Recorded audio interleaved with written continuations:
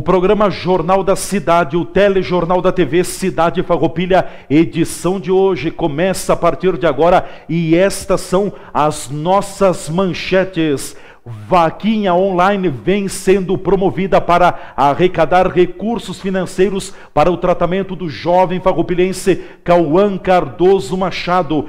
Pais e amigos do jovem necessitam de 100 mil reais para tratamento do menino que está internado há um ano e dois meses no Hospital das Clínicas em Porto Alegre. Cauã necessita de um remédio que custa 7 mil reais por mês. Ainda será destaque na edição de hoje do nosso Jornal da Cidade. Ex-presidente do Conselho Regional de Contabilidade no Rio Grande do Sul, Rogério Rockenbach, palestrou em Farroupilha há cerca de uma semana. Evento fez parte da promoção CRC e Você e foi realizado no restaurante Parque dos Pinheiros. Grande número de contadores do município prestigiaram a programação Rogério Rockenbach afirma que a área da contabilidade vai passar por enormes transformações.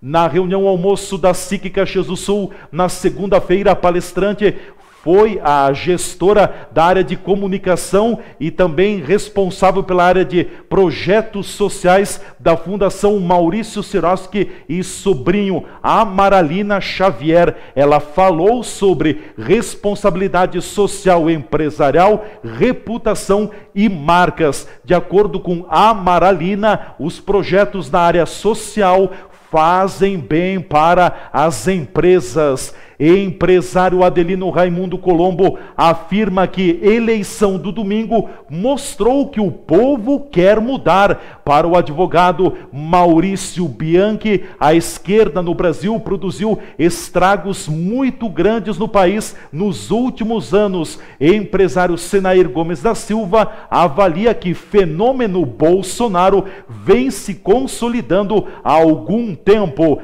Brigada Militar de Farroupilha realizou prisão de dupla por tráfico de entorpecentes e caminhonete foi furtada na madrugada da terça-feira na área central da cidade. Meteorologia prevê chuva na maior parte do período da quarta-feira aqui na Serra Gaúcha. Em alguns momentos, as pancadas poderão ser fortes. Estas e outras notícias você vai ter em detalhes a partir de agora, aqui no Jornal da Cidade, o telejornal da TV Cidade Farroupilha, o nosso encontro diário com a notícia e com a informação. Você já sabe, os principais acontecimentos do dia você vê aqui no nosso Jornal da Cidade. O que movimenta a nossa comunidade é sempre assunto do Jornal da Cidade que tem compromisso com a informação. Nós vamos ao nosso espaço de apoiadores, em seguida voltaremos para destacar a ação social Vaquinha Online é promovida para arrecadar recursos financeiros para o tratamento do jovem farroupilense Cauã Machado, que está internado há mais de um ano no Hospital das Clínicas em Porto Alegre.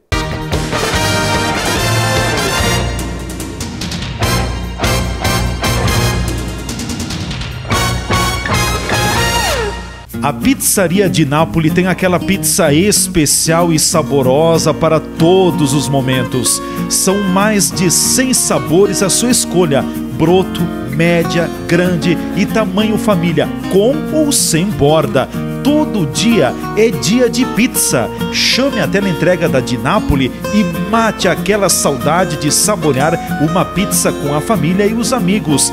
Dinápoli Premium, Rua da República, 209, Centro de Farroupilha. Fone 3261 6000. Dinápoli Farroupilha, a pizzaria a tela entrega preferida. Venha provar nossa pizza, porque toda hora sempre cai bem uma pizza. Ô, velho, tá difícil para ler esse jornal. Eu preciso me comprar uns óculos, minha velha. Mas vai lá no Mercadão dos Óculos. Qualidade com preço justo você só encontra no Mercadão dos Óculos. No Mercadão dos Óculos Farroupilha, quem escolhe a promoção é você. Lentes em dobro ou armação grátis. Consulte detalhes da promoção na loja Mercadão dos Óculos Farroupilha, armações e lentes. Ninguém vende mais barato do que a gente. Avenida Júlio de Cacilhos, 852 Centro. Fone 3261 6320. Tchau, vinhetutiqua!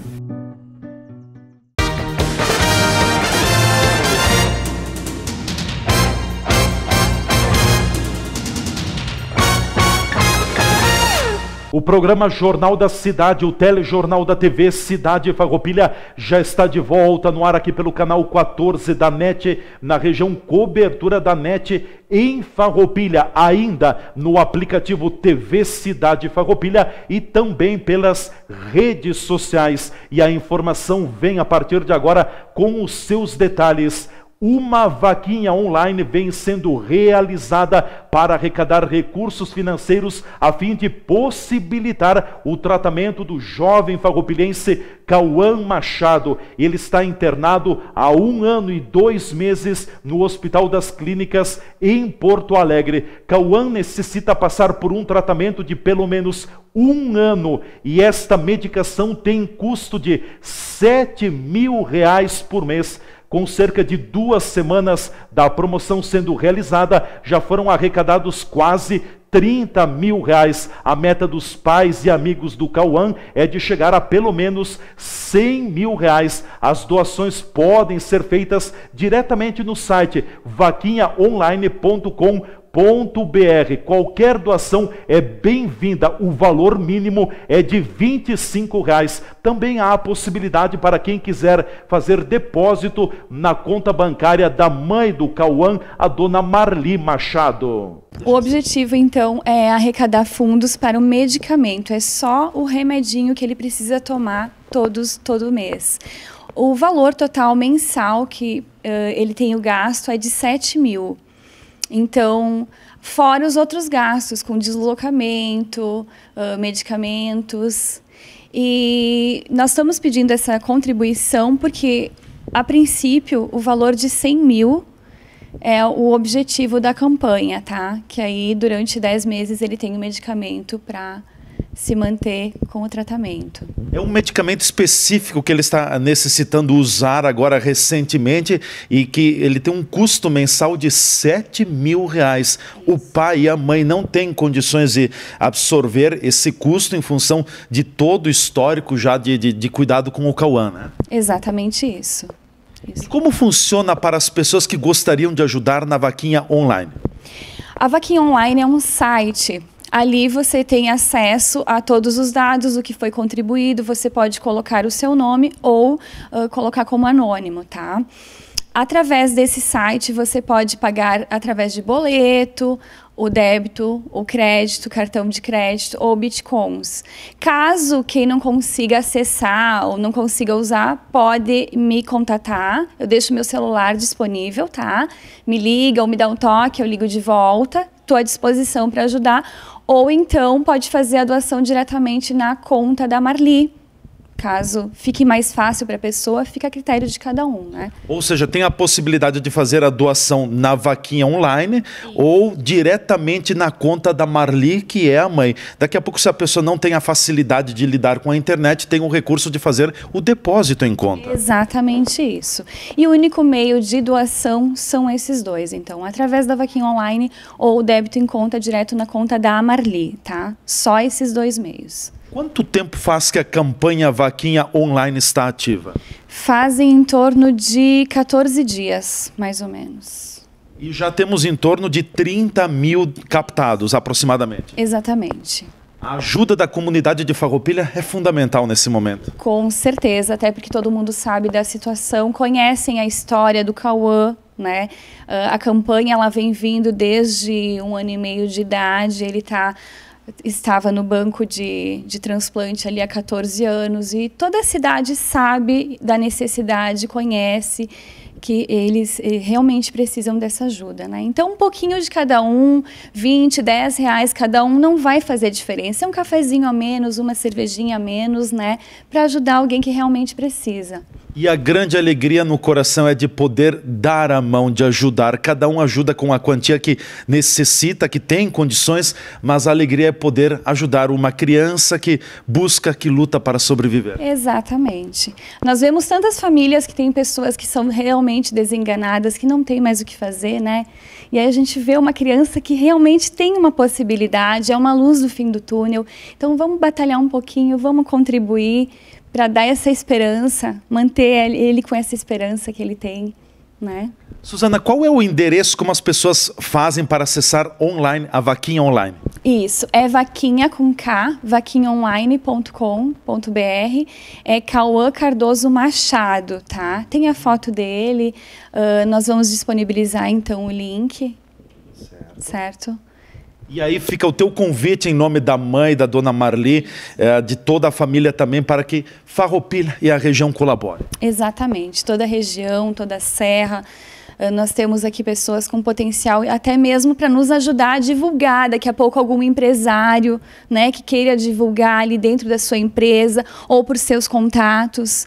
Nós aceitamos ajuda, nós precisamos de ajuda. Olha, eu quero reforçar o pedido também colocado pela Suzana, enfim, mais uma vez endossar, sensibilizar você, a comunidade de Farroupilha. É o momento de nós ajudarmos a família do Cauã. O jovem está internado há mais de um ano em Porto Alegre, no Hospital das Clínicas. A mãe praticamente vive em Porto Alegre, precisa pagar aluguel porque não pode ficar distante do filho. É, qualquer problema que ele tenha, ela em cinco minutos, necessita estar no Hospital das Clínicas em Porto Alegre. E vejam só, tem uma medicação que poderá ajudar muito, mas ela é muito cara: sete mil reais por mês só de um remédio. Os pais, os familiares não têm condições de bancar esse custo e por isso está sendo promovida esta vaquinha online. O mínimo de doação é 25 reais. Quem puder colaborar, faça colaboração, ajude. É muito bom poder ajudar. O programa Jornal da Cidade segue e agora destaca responsável pela área de gestão de comunicação e de projetos sociais da Fundação Maurício Siroski Sobrinho, palestrou na reunião almoço da SIC da segunda-feira. O tema tratado no evento foi sobre responsabilidade social empresarial, marca e reputação. Ao longo de sua exposição aos convidados que prestigiavam a reunião almoço da Câmara de Indústria, Comércio e Serviços de Caxias do Sul, na última segunda-feira, a Maralina Xavier falou sobre a importância das empresas e organizações desenvolverem ações na área social e junto às suas comunidades. De acordo com ela, o primeiro passo é entender como utilizar melhor os diversos recursos das empresas. A Maralina Xavier disse que as ações sociais acabam tornando as empresas diferentes. O evento foi alusivo aos 30 anos da Fundação Marco Polo e contou com grande prestígio na SIC de Caxias do Sul. A Maralina Xavier explica como as empresas podem ter um papel efetivo no desenvolvimento da sociedade. Acho que o gancho principal, acho que o mote da nossa fala, que demorou mais ou menos uns 40 minutos, é a gente pensar criticamente como que as empresas podem sim ter um papel efetivo no desenvolvimento social das nossas comunidades, né? A gente aqui não fala sobre sobrepor o Estado ou ter papel de políticas públicas, mas sim como que a gente pode colaborar. Então, uma das principais falas, a essência, o cerne disso, foi entender como que a empresa coloca os seus recursos, que muitas vezes não é financeiro, às vezes até é um estudo dos seus processos internos para que a gente consiga efetivamente, ao final, não só ter a sustentabilidade financeira das nossas empresas, mas também ter uma sustentabilidade histórica, onde a gente pode ter o impacto e a gente pode ter o laço efetivo com as nossas comunidades. Maralina, por que é importante uma empresa, além de trabalhar com o seu produto, com o seu negócio, também ter relações com a sua, com a sua comunidade, com a sua sociedade? Isso acaba de uma forma direta e indireta fortalecendo o próprio produto? Com certeza. Uh, a gente vê, uh, uma coisa que a gente conversou bastante durante a palestra, é a questão a gente vive num momento de crise, né? de crise de representatividade, de crise política, de crise moral. Quando uma empresa se coloca numa situação em que ela é transparente, que ela mostra que ela está se importando com o desenvolvimento da sua comunidade entendendo também que a comunidade é quem vai consumir o seu produto, ela galga, ela constrói espaço para sua sustentabilidade financeira. E isso também traz retornos em marca, em reputação, em legitimidade de ação e as empresas se tornam até partes do nosso histórico da cidade. Quando a gente lembra as cidades que a gente visita pelas empresas, pelos restaurantes, pelas lojas, porque elas têm história, muito mais do que o produto e o serviço que são ótimos também, mas elas têm história com a comunidade, elas estão ali para desenvolver também as questões sociais de cada lugar. Você atua na Fundação Maurício Siroski Sobrinho e também na Fundação Marco Polo e são diversos projetos de ação social. O que, que você destaca como importante também na construção dos projetos e ações sociais dentro de uma empresa ou organização? Eu acho que uma, o primeiro tema de casa que a gente pode fazer, se a gente ainda não tem possibilidade de ter uma fundação própria, um instituto, é entender como que a gente pode utilizar melhor os nossos recursos. E daqui estou falando de coisas básicas, como descarte de uh, reutilizáveis, como reciclagem, como, como que a gente conduz as tratativas de recursos humanos dos nossos colaboradores, dos nossos funcionários. Isso é olhar um pouco para os nossos recursos internos e tentar melhorar os nossos processos, impactando sim positivamente as pessoas e as comunidades do entorno. Num segundo momento, quando a gente tem a verba, quando a gente consegue ter uma mobilização maior para fazer efetivamente uma fundação, um instituto, a gente consegue daí extrapolar aquele sentimento de essência que a empresa tem e mostrar como ela pode ter um papel efetivo na transformação da sociedade, como ela é importante para aquela comunidade, muito além do produto ou do serviço que ela está fornecendo ali.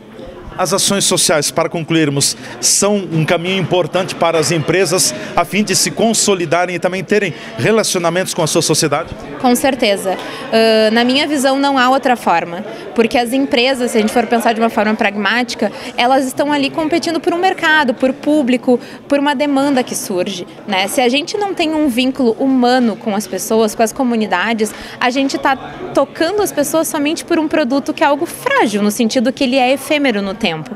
Mas quando a gente constrói relações, quando a gente constrói história, as pessoas distinguem a nossa marca e a nossa empresa de outras. E isso efetivamente faz perdurar e ter sustentabilidade para as nossas empresas. Olha, não há dúvidas, não há também nenhum, nenhum questionamento de que as ações sociais fazem muito bem para as empresas, porque além do próprio negócio, as empresas também acabam se relacionando com a sociedade onde estão inseridas. E temos muitos exemplos aqui na nossa região, a começar pela Marco Polo, pela própria Randon e tantas outras empresas também que têm fortes e bonitos projetos na área social. O programa Jornal da Cidade vai para o espaço dos apoiadores. Em seguida, voltaremos para destacar. Empresário Adelino Colombo afirma que eleições do domingo mostraram que o povo quer mudanças. Para o advogado Maurício Bianchi, a esquerda produziu grandes prejuízos ao Brasil nos últimos anos. E o empresário Senair Gomes da Silva avalia que o fenômeno Jair Bolsonaro vinha amadurecendo há algum tempo.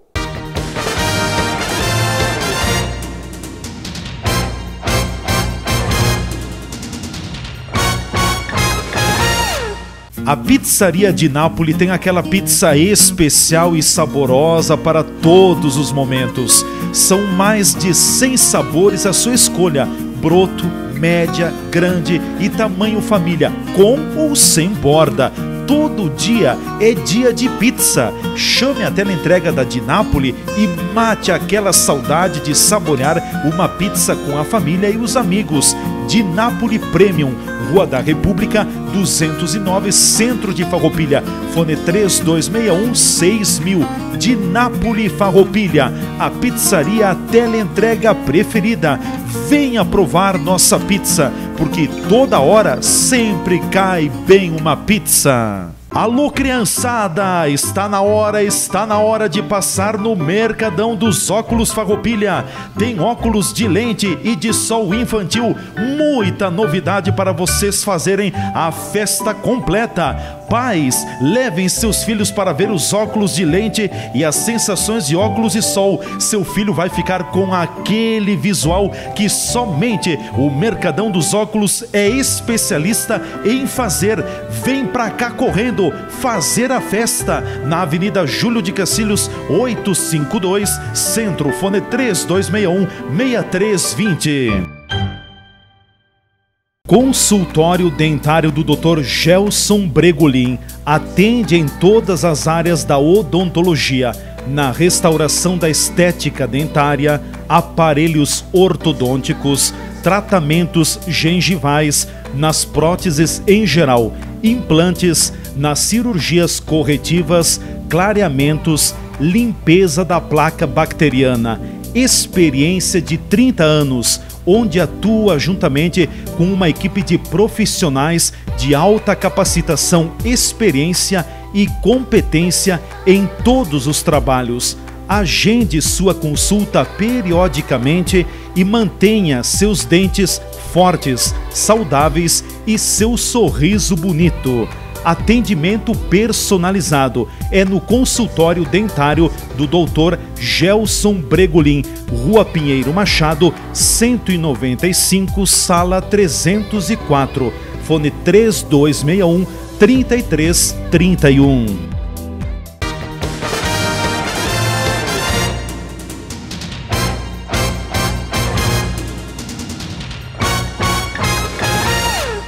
Programa Jornal da Cidade, o telejornal da TV Cidade Farroupilha, o noticioso completo do dia com os principais fatos da nossa comunidade já está de volta. Você nos acompanha aqui pelo canal 14 da NET, na região cobertura da NET em Farroupilha. Vamos trazendo mais informação. Ex-presidente do Conselho Regional de Contabilidade do Rio Grande do Sul afirma que contabilidade vai passar por enormes transformações. Há cerca de uma semana, o Conselho Regional de Contabilidade do Rio Grande do Sul promoveu em Farroupilha o evento CRC e Você. A promoção ocorreu no Parque dos Pinheiros e foi prestigiada por grande número de contadores da cidade e também da região. Entre a programação do evento esteve a palestra do ex-presidente do CRC Rio Grande do Sul, Rogério Rockenbach. Ele falou aos presentes por cerca de uma hora e tratou de temas como compromisso, responsabilidade e ética. Rogério disse ainda que o setor vai passar por enormes transformações num curto espaço de tempo. O ex-presidente do Conselho Regional de Contabilidade no Rio Grande do Sul destaca a importância da responsabilidade e da ética nos profissionais da categoria. Precisa, a sociedade precisa disso, né? Na realidade, o povo brasileiro precisa disso. Nós precisamos ter trabalhos cada vez sendo feitos com mais cuidado, com mais atenção, pensando no bem e no desenvolvimento das empresas e da sociedade. Rogério, o que vem pela frente também em termos de novidade? O mundo da contabilidade vai passar por uma grande revolução? Vai, sempre passou, de tempo em tempo a gente vai passando, né? Desde a mudança da simples máquina de escrever manual para máquina elétrica, né? Mas assim, ó, a verdade é que nós vemos em ciclos de transformação e o que vem por aí é uma enorme transformação, é uma profunda transformação, é um impacto tecnológico fortíssimo, mas que, como mais um desafio, nós conseguiremos, com esforço e dedicação, superá-los. O profissional da contabilidade vai precisar se reinventar? Vai. O profissional da contabilidade, o profissional de todas, as, de todas as áreas do conhecimento e o cidadão. Nós precisamos, a partir de uma transformação pessoal, de uma transformação uh, do comportamento, fazer a transformação das profissões para o bem comum. A gente percebe que hoje o profissional da contabilidade ocupa cada vez mais importância, seja na vida da pessoa física ou da pessoa jurídica. Ele é o grande norte? Ele é onde concentra todos os dados de uma empresa, de uma, de uma entidade, e ele tem a capacidade única de poder transformar isto em informações, em informações confiáveis, em informações que possam ser úteis para o desenvolvimento e progresso. Quais os grandes desafios da categoria na tua visão? é o avanço do conhecimento da tecnologia, saindo de usuários qualificados para desenvolvedores e uh, suportadores de soluções tecnológicas. Você mesmo falou também na abertura do teu trabalho de que você condena o profissional que faz algum trabalho sem cobrar por ele, ele acaba sendo corrupto? Não, ele acaba fazendo um desserviço, primeiro para ele que estudou, que investiu, muitas vezes recurso da família, muitas vezes recurso do pai, da mãe, da avó para poder pagar a faculdade dele, e ele não tem respeito nem com isso. Mas assim, ó, acima de tudo, é uma prática predatória, é uma prática que ela não é eticamente sustentável, correta, e é uma prática que a gente precisa sim combater, banir, ensinando como é que faz e como é que faz é cobrar dignamente por um serviço feito de verdade. O Rio Grande do Sul conta com bons profissionais? Conta. O Rio Grande do Sul, eh, dentro dos estados do Brasil, é um dos estados que é um dos principais estados do ponto de vista da qualidade do profissional e da qualidade da contabilidade. O Rio Grande do Sul é o estado no Brasil que mais se faz contabilidade regular.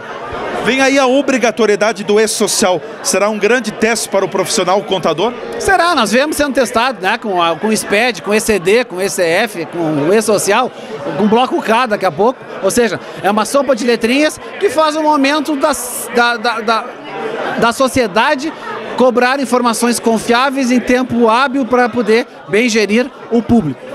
Para fecharmos aqui em Farroupilha, um bom público. Você se divertiu na conversa com os teus colegas desta noite? Muito, assim, é muito bom. Assim, ó, hoje, casualmente, o tempo não estava bom, né? Nós estamos com chuva, tá com frio, tá com serração, e o pessoal veio, participou, interagiu, e é assim, é, é, é, é um público sempre muito preocupado em buscar uma qualificação, um aprendizado, uma troca de informações.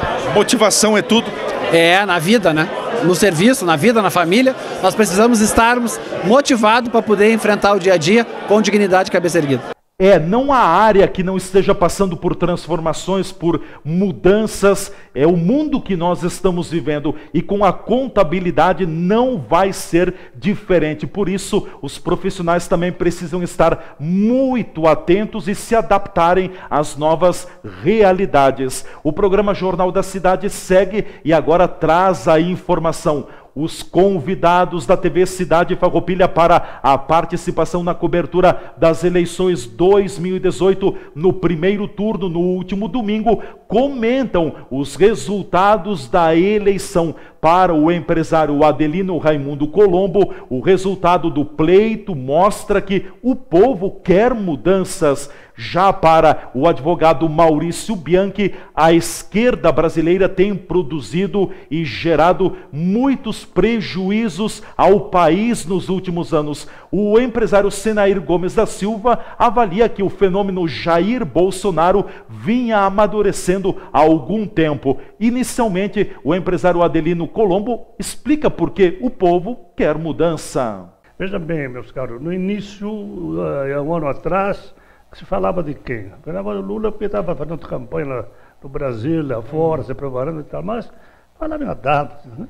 que falava. O próprio, o próprio Bolsonaro se falava qualquer coisa de bem, de mal e tal. O, aqui, aqui está aquilo que eu estava dizendo há pouco. O povo quer mudar. E sabe quanto deu? 70% da urna. 3 por 1. 70% da urna. O povo brasileiro quer mudar. Eu acho que mudou. Acho que mudou, entende? Claro, mas, uh, olha, uh, uh, de todas as pessoas que eu conversei, sem entrar em política, sem entrar em pessoa, a gente conversou amigos, em momento, tá, meus funcionários e tal, só teve um que me disse que ia votar num outro candidato. Impressionante. O povo quer mudar. O povo quer mudar. Doutor Maurício, é. mudança confirmada. É, eu, eu concordo com o senhor Adelino, acho que foi bem colocado. É, o povo quer mudança. Né? É, é, eu acho que o cenário econômico dos últimos anos vem demonstrando isso. Há uma falta de, de crédito, um descrédito total da população é, no, no, no, governo, é, seja ele governo transitório ou o governo anterior é, do PT. E hoje nós temos aí 147 milhões de pessoas que foram às urnas por mudança. E eu diria que essa polarização, ela, ela não é de hoje, ela já existe. Ela já existe. Na última eleição, se nós nos, nos recordarmos aí, uh, o, o, embate entre a, a esquerda né, e a direita, ele foi bastante claro. Uh, então, uh, o, como eu estava comentando, o, o, o, povo quer, quer uma mudança. Né? Essa polarização ela já existia, mas o que a gente nota uh, é que, ao contrário da, da última eleição, há um ranço muito grande em relação à esquerda. A esquerda, no meu entender, ela produziu estragos muito grandes para o país nos últimos anos. E isso ficou claro no cenário econômico atual. Né? Uh, e nós precisamos de mudança. E o único candidato que talvez tenha demonstrado essa mudança é o que parece que tem despontado aí nas, nas pesquisas. Né? com até uh, possibilidade de ganho no, no, primeiro turno. Isso não é certo, né? as pesquisas não confirmam isso, mas existe essa, essa probabilidade. Então, acho que uh, isso, deixa, isso ficou bem claro no cenário eleitoral, e vocês vejam que não importou tanto o tempo de televisão, que era algo muito importante foi nas campanhas, né? nas, exatamente nas campanhas anteriores, sempre foi muito importante o tempo de televisão. Né? Tanto é que o, o candidato Geraldo Alckmin ele fez acordo com partidos políticos, né, o qual, no, em algum ponto de vista da maioria das pessoas, uh, não foi muito bem aceito, e foi visto por ele como um, um grande ganho. O que se demonstrou na prática, né, a grande influência das mídias sociais nessa eleição. Então, acho que o grande, a grande novidade dessa eleição foi o poder da mídia social na campanha eleitoral. Me parece que o fenômeno Bolsonaro, Bolsonaro é, me parece que veio amadurecendo já há algum tempo. Porque o que aconteceu? Quando a esquerda brasileira tomou conta do país após a redemocratização, a direita ficou envergonhada porque a esquerda brasileira mostrou que era isso aqui não serve mais. Vamos implantar um outro sistema que veio o assistencialismo, é, essa, esse, como é que a gente chama? Essa popularidade de qualquer maneira. Socialismo. Socialismo, e com a popularidade, esses, essas promessas e mais promessas, vendemos a ilusão de que estamos todos ricos, trabalhar em segundo plano. Toda essa aventura que aconteceu, a esquerda se envergonhou. Agora, quando apareceu o Bolsonaro mostrando que há um outro caminho, mostrando claramente que o, o que está aí, a insegurança que nós estamos vivendo hoje, não é para mim, nem para o seu Colombo, é para todos, do menor ao maior em idade e em todos os aspectos, é um risco constante, veio se criando uma opção diferente do que está aí.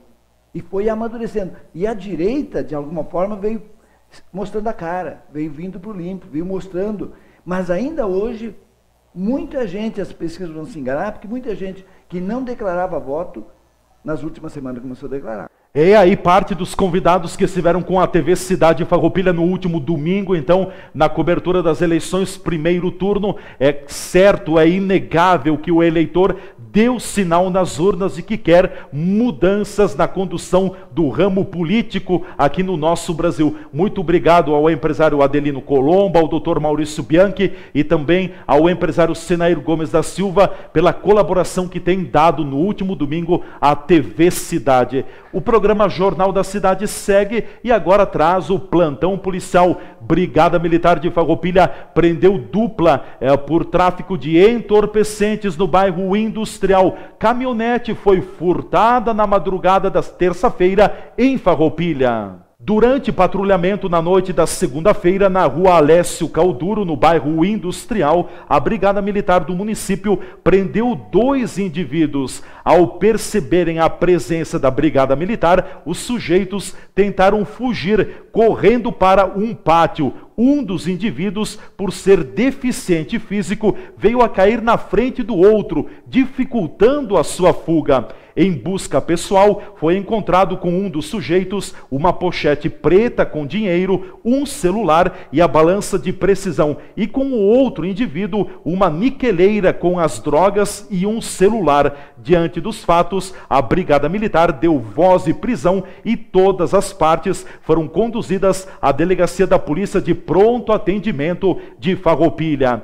Durante a madrugada da terça-feira, um furto de veículo ocorreu na Avenida Júlio de Cacilhos, nas proximidades do edifício Bela Itália, em Farroupilha. Os assaltantes arrombaram a maçaneta da porta da garagem. Uma caminhonete Troller vermelha, placas ONV 4535, de propriedade de Carlos Bondan, foi furtada. O proprietário efetuou o registro na Delegacia de Polícia de Farroupilha. E agora no Jornal da Cidade vamos para a previsão do tempo. Quarta-feira poderá ter chuvas na maior parte do dia na região serrana e meteorologia não descarta pancadas fortes de chuva. Uma frente fria está avançando pela região sul do Brasil e reforça as áreas de instabilidade que já estão provocando chuva, associadas a um sistema de baixa pressão atmosférica no Paraguai. E o resultado é mais chuva para os três estados do sul nesta quarta-feira e tem alerta de temporais. No extremo sul gaúcho, a chuva para e a entrada do ar polar diminui a temperatura. Na região de Santa Maria até Porto Alegre, ainda pode acontecer uma chuva grossa na madrugada, mas a tendência será apenas de chuva fraca ao longo do dia. O predomínio é de céu nublado, a previsão de chuva forte na parte norte do Rio Grande do Sul, pegando a região serrana, oeste de Santa Catarina e do Paraná. Nas outras áreas catarinenses, pode chover a qualquer hora e é alto risco de temporais, inclusive em Florianópolis. Das três capitais, Curitiba terá mais sol, mas também ocorrem temporais a partir da tarde. A mínima prevista na capital é de 14 graus, 15 em Porto Alegre, máxima de 22 graus na capital gaúcha, 24 graus em Florianópolis. E com a previsão do tempo, nós estamos chegando ao final da edição de hoje do nosso Jornal da Cidade. Ou seja, tempo bom por enquanto, não há previsão. Vamos estar oscilando momentos com instabilidade, céu nublado, alguns momentos com sol, mas aqueles dias seguidos de tempo bom, por enquanto até metade da semana que vem, não há previsão. A instabilidade vai continuar dominando o nosso clima. O Jornal da Cidade, você tem a oportunidade de revê-lo novamente acessando o YouTube da TV Cidade Farroupilha. Ali você vai encontrar a edição de hoje do programa com todas as matérias e todas as reportagens e poderá assisti-la quando você tiver disponibilidade de tempo. Nós ficamos por aqui com o programa. Um forte abraço e até o próximo Jornal da Cidade, o telejornal da TV Cidade Farroupilha.